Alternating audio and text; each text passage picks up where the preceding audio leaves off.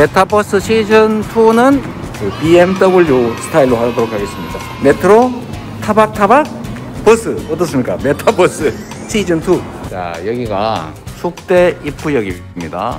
제 아내가 이 숙대를 졸업했어요.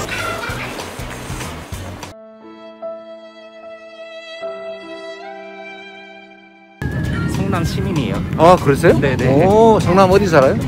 그 분당이요. 내가 저 양지마을 사는데. 우리 옆 동네 띄우시네. 혹시 사진 찍어도 돼요? 아 됩니다. 아 그래요? 저랑 네. 같이 셀카 찍으실래요? 네네네. 자 예쁘게 찍어주세요. 반갑습니다. 어디로 가시나니까? 전 수원에 살아서요. 아 저희 가족 모두 팬입니다. 제가 도지사를 할 때도 수원에 계셨겠군요. 어. 저희 경기 배달 앱도 다운받아서 아. 사용하고 있고 수원 페이도 사용하고 있고 오 그렇군요. 유 음. 네네네. 도움이 조금은 조금 이만큼은 되죠. 어이, 그럼요. 어, 저안 좋아한다고요? 되게. 저 지금보다 좋아해 주실 거예요? 지금부터 좋아해야 될 것 같아요. 네.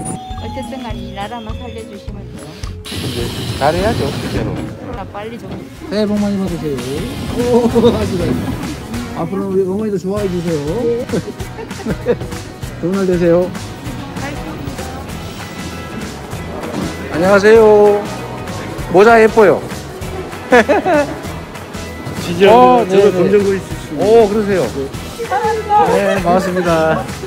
12,000분이 같이 보- 하고 계신데, 예, 다음 기회에 또 뵙겠습니다. 빠이빠이.